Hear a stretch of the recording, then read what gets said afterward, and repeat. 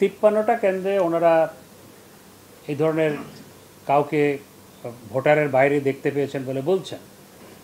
এবং সেখানে অনেকে চা আনতে গেছে, অনেকে পানি দিতে গেছে, অনেকে চা দিতে গেছে, আরেকজন ভোটারকে হাত ধরে নিয়ে গেছে, প্রিসাইডিং অফিসার উঠে আরেক জায়গা থেকে আরেক জায়গায় গেছে। সেটি প্রিসাইডিং অফিসারের চেহারা সেখানে কতটুকু বোঝা যাচ্ছে, আমরা তো সবাই ইন্টারনেট ব্যবহার করি। আর গাইবান্ধার অজপরা গায়ে সিসি ক্যামেরা ঢাকায় কতটুকু রেজলিউশন দিল? আপনি আমি যখন অনলাইনে ক্লাস নিই, আমি মাঝে মধ্যে অনলাইনে ক্লাস নিই। আজকেও সকালবেলা ঢাকা ইউনিভার্সিটিতে ক্লাস ছিল, যে কারণে আমার আসতে দেরি হয়েছে। অনলাইনে মাঝে মধ্যে ক্লাস নিই। তখনও আমি মাঝে মধ্যে রেজুলেশন ঠিকমতো পাই না। ঢাকা শহরে মিন্টু রোডে বসে। তো সেখানে আপনার গাইবান্ধার সিসি ক্যামেরা এখানে কীরকম ফুটেজ দিল? দ্যাটস এ বিগ কোয়েশ্চেন তো এই প্রেক্ষিতে তাদের যে সিদ্ধান্ত, মানুষ বলছে এটি তারা এই সিদ্ধান্তের মাধ্যমে নিজেদেরকে বিতর্কিত করেছেন। যখন ডিসিএসপিদের কেউ বলে, আপনারা নুপুংস,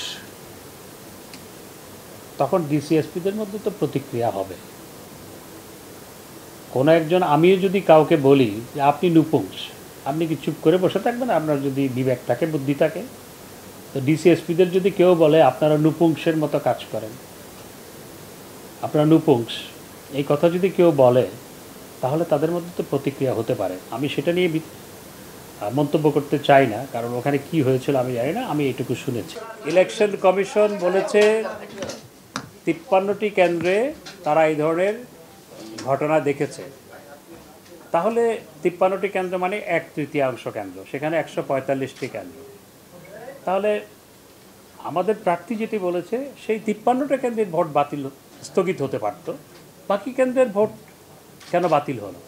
এই সিদ্ধান্তের মাধ্যমে এটি প্রমাণিত হয়েছে যে বিএনপি সহ তারা যে নিরপেক্ষ সরকার, তত্ত্বাবধায়ক সরকার, আরও নানা ধরনের সরকারের ফর্মুলা যে দেয় এগুলোর কোনো প্রয়োজন নাই। এভাবে সিসিটিভির ফুটেজ দেখে ভারতে নির্বাচন কমিশন অনেক শক্তিশালী।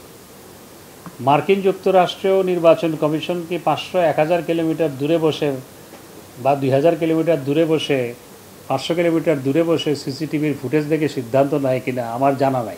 আমি শুনি নাই অন্তত। তো, এবং ইউরোপের বিভিন্ন নির্বাচনও এই ধরনের সিসিটিভির ফুটেজ দেখে সিদ্ধান্ত নেয় কিনা সেটিও আমি শুনি নাই, আমার জানা নাই। তো এখন নির্বাচন কমিশনই সিদ্ধান্ত নিবে যে কি করবে। আরেকটি বিষয় এখানে পরিধানযোগ্য সেটি হচ্ছে আপনি বাথরুমে পর্যন্ত যদি সিসিটিভি লাগিয়ে দেন তাহলে আপনার ব্যক্তিগত গোপনীয়তা খর্ব হচ্ছে কি না সেটিও একটি প্রশ্ন। কারণ এসআর সাহেব যখন জেলখানায় ছিল তখন খালেদা জিয়া তার বাথরুমে সিসিটিভি লাগিয়ে দিয়েছিল। ধন্যবাদ।